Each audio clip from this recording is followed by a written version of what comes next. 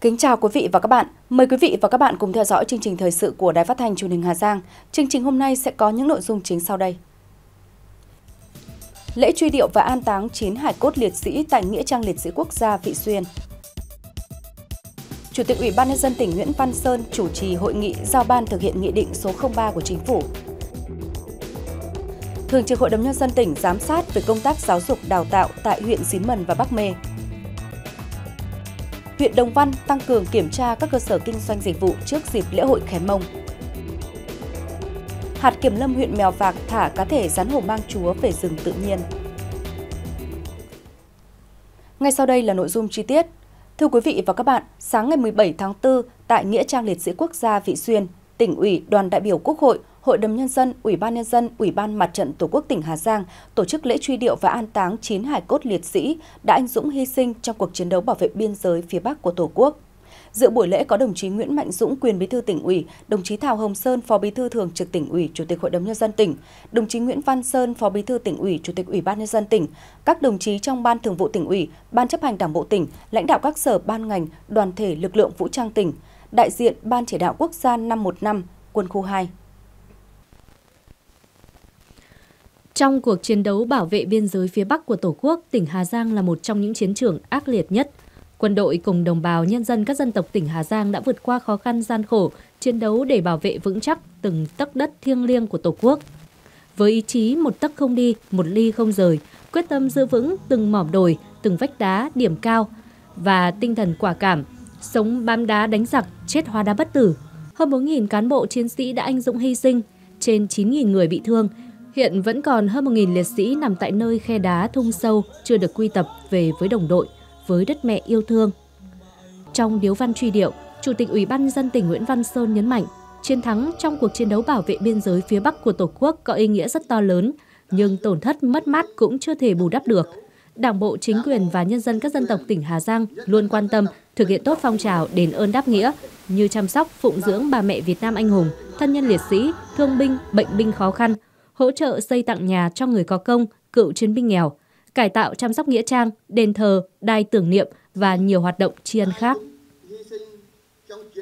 Đảng bộ, chính quyền, nhân dân đất dân tộc tỉnh Hà Giang luôn khắc ghi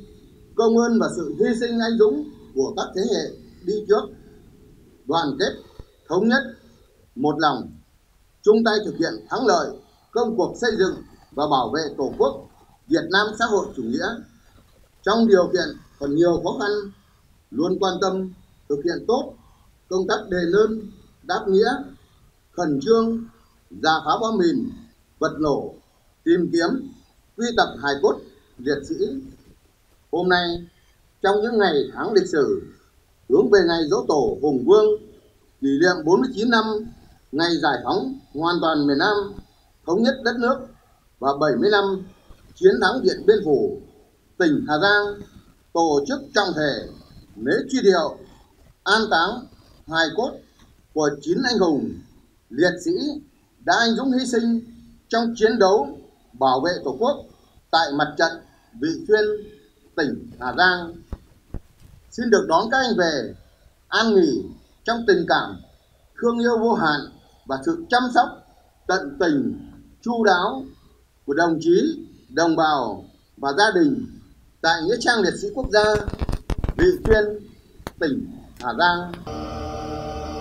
Trong không khí trang nghiêm của buổi lễ, các đồng chí lãnh đạo tỉnh, các đại biểu đã dâng hoa dâng hương, kính cẩn nghiêng mình, bày tỏ lòng biết ơn đối với công lao của các anh hùng liệt sĩ đã không tiếc máu xương, hy sinh vì độc lập tự do của Tổ quốc.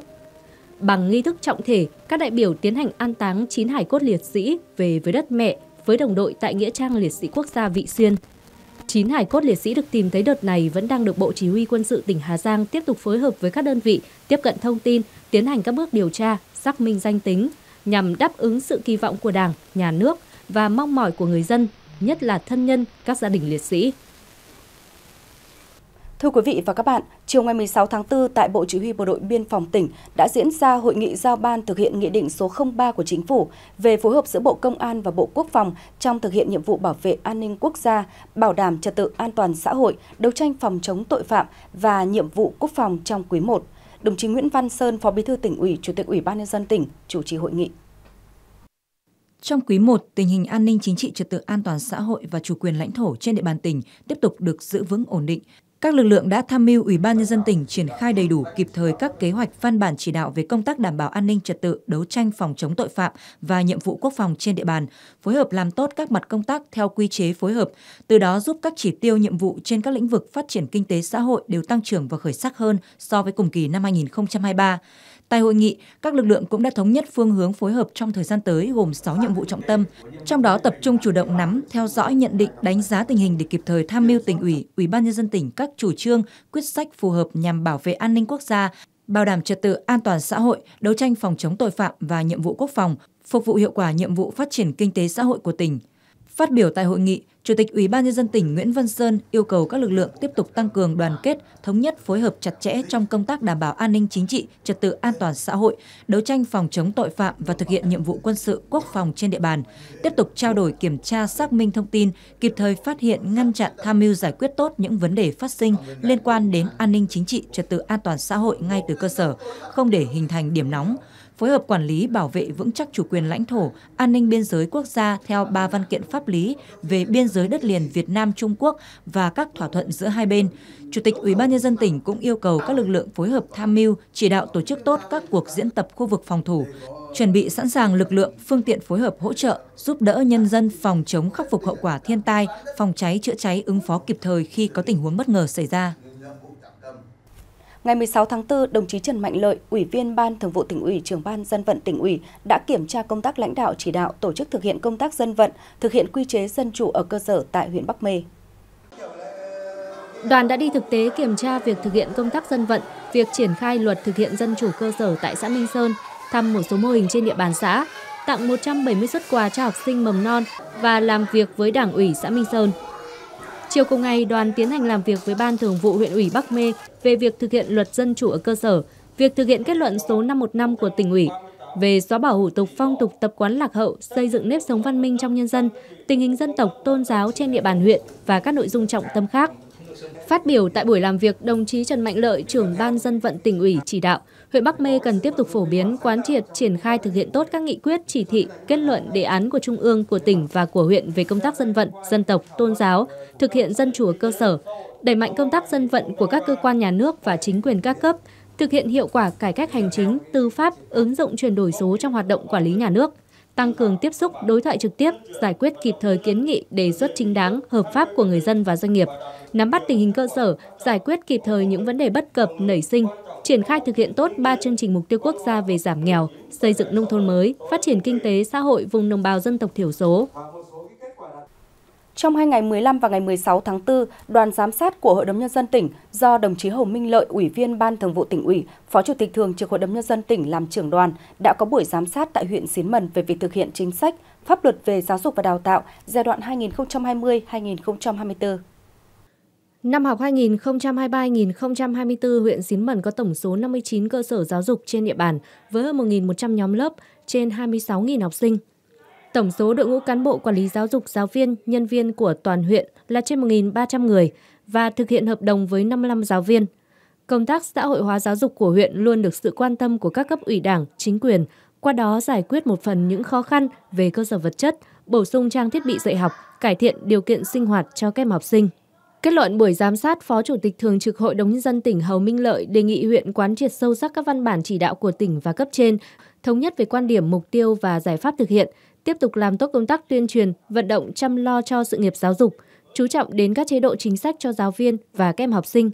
Phó Chủ tịch Thường trực Hội đồng Nhân dân tỉnh lưu ý huyện cần làm thận trọng, đúng quy định pháp luật trong quá trình đấu giá thiết bị giáo dục từ nguồn ba chương trình mục tiêu quốc gia, tăng cường công tác kiểm tra, thanh tra, dự giờ các lớp học, vận dụng sáng tạo linh hoạt các giải pháp để thực hiện tốt các chính sách pháp luật về giáo dục đào tạo trong thời gian tới.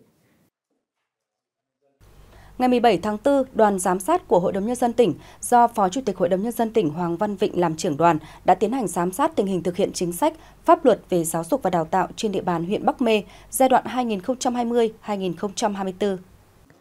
Trong giai đoạn 2020-2024, huyện Bắc Mê luôn duy trì đảm bảo về quy mô trường lớp học sinh theo quy định. Toàn huyện có 41 đơn vị trường học, trong đó có 21 trên 41 trường đạt chuẩn quốc gia. Công tác phát triển đội ngũ nhà giáo và cán bộ quản lý trong các cấp học, bậc học luôn được quan tâm, đổi mới từ nội dung, chương trình, phương thức tổ chức. Việc triển khai đề án chuyển học sinh tiểu học từ các điểm trường về học tại trường chính được huyện Bắc Mê quan tâm thực hiện có hiệu quả. Giai đoạn 2021-2024, toàn huyện đã chuyển được hơn 3.370 học sinh từ các điểm trường về học tại trường chính. Số điểm trường đã giảm trong giai đoạn 2020-2024 là 23 điểm trường.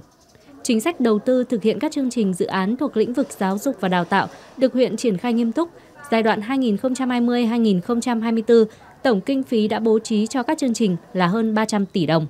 Qua giám sát và làm việc với huyện, Phó Chủ tịch Hội đồng Nhân dân tỉnh Hoàng Văn Vịnh đề nghị huyện Bắc Mê tiếp tục duy trì sĩ số học sinh đến lớp, bổ sung đầy đủ giáo viên, đảm bảo công tác dạy và học, đầu tư thêm cơ sở vật chất các cụm trường để đưa học sinh về trường chính, đẩy mạnh công tác xã hội hóa giáo dục, tăng cường công tác thanh tra, kiểm tra để kịp thời phát hiện những sai phạm để có biện pháp khắc phục sửa chữa.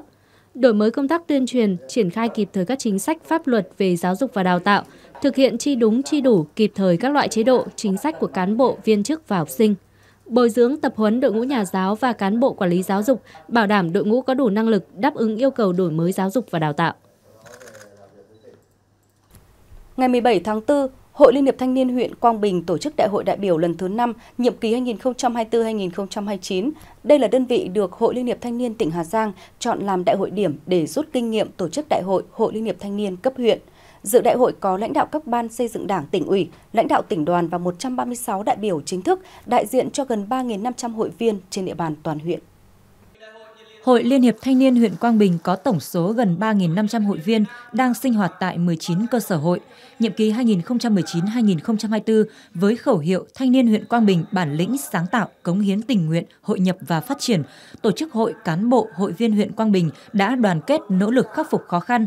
ra sức phấn đấu hoàn thành nghị quyết đại hội lần thứ tư, nhiệm kỳ 2019-2024, với 8 chỉ tiêu đề ra và 8 nhiệm vụ giải pháp triển khai thực hiện, kết thúc nhiệm kỳ đã có 4 chỉ tiêu đạt 100% so với nghị quyết, 4 chỉ tiêu đạt trên 100%. Với khẩu hiệu hành động, đoàn kết, tình nguyện, sáng tạo vì Quang Bình phát triển, Đại hội cũng đã thông qua nghị quyết đại hội nhiệm kỳ 2024-2029 với 12 chỉ tiêu cụ thể trong đó tập trung xây dựng tổ chức Hội Liên hiệp Thanh niên huyện Quang Bình vững mạnh, mở rộng mặt trận tập hợp đoàn kết thanh niên, tăng tỷ lệ tập hợp thanh niên tham gia tổ chức hội đạt trên 80%, phấn đấu trong nhiệm kỳ kết nạp mới từ 1.000 hội viên trở lên, phấn đấu 90% cơ sở hội vững mạnh, xuất sắc,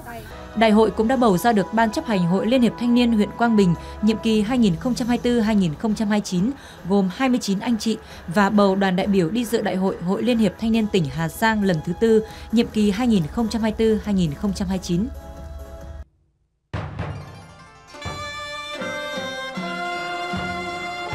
Dù ai đi ngược về xuôi, nhớ ngày dỗ tổ mùng 10 tháng 3 Dỗ Tổ Hùng Vương là ngày lễ trọng đại mang bản sắc văn hóa sâu sắc và độc đáo của dân tộc Việt Nam, thể hiện đạo lý uống nước nhớ nguồn, tưởng nhớ và biết ơn công đức các vua hùng đã có công dựng nước và giữ nước.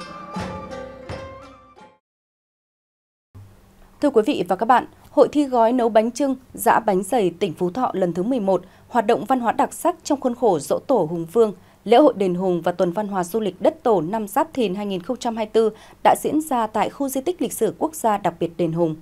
Mời quý khán giả cùng xem phóng sự do các đồng nghiệp của chúng tôi tại Đài Phát thanh Truyền hình tỉnh Phú Thọ thực hiện.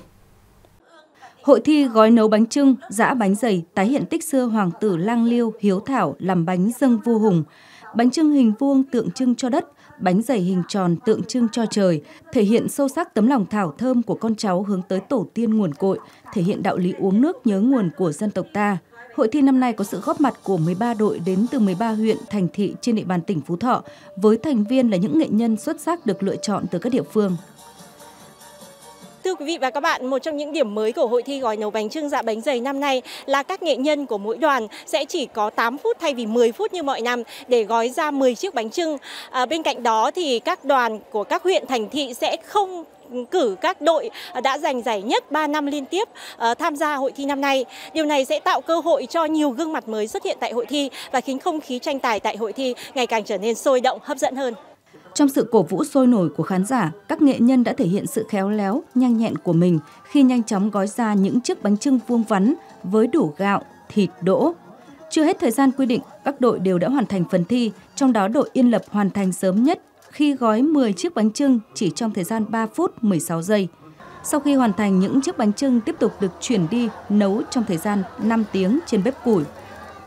Đoàn Liên Lập là gói được à, là nhanh nhất. Thế còn bây giờ là về đây để đun luộc là luộc để làm cho bánh ngon nhất. Năm ngoái là đoàn Liên Lập cũng đã được giải nhất của bánh dày và năm nay cũng vẫn mong muốn là được cả bánh trưng bánh dày giàu cao. Trước cái hội thi này chúng tôi đã chuẩn bị à, rất là nhiều ngày trước và ngay trong sáng ngày hôm nay thì là chúng tôi đã chuẩn bị lại một lần nữa về các nguyên liệu, à, chuẩn bị các nguyên liệu chọn những loại gạo ngon nhất, đấy, những loại đỗ ngon, sau đó là những loại những miếng thịt để gói được chiếc bánh lên vuông đẹp và nhân của nó sẽ là nhân ngon nhất. Buổi chiều, hội thi tiếp tục với phần tranh tài ở nội dung giã bánh dày. Mỗi đội có thời gian 30 phút để thổi sôi, 15 phút để giã và bắt bánh. Phần thi này đòi hỏi sự nhanh nhẹn, dẻo dai và cả sự phối hợp ăn ý giữa các nghệ nhân để có thể làm nên những chiếc bánh trắng dẻo, tròn trịa. Thời tiết nắng nóng gay gắt không ngăn được nỗ lực, quyết tâm chiến thắng của các đội. Thời tiết là rất là nóng mà chúng tôi trong những đội thi để thi gói bánh trưng bánh dày lên dâng để cho vua Hùng. Cho nên động viên tất cả mọi người đều nỗ lực hết mình, cố gắng là làm sao đạt được giải lên để để khuyến khích coi như theo bà con để năm nào cũng thế để cho chúng ta có những sản phẩm đẹp đẽ và ngon nhất để dâng lên cho vua Hùng. Lần đầu tiên tôi đi về à, chơi à, đền Hùng hôm nay thấy à, không khí vui chơi đây rất nhộn nhịp và hay. Với lại có cái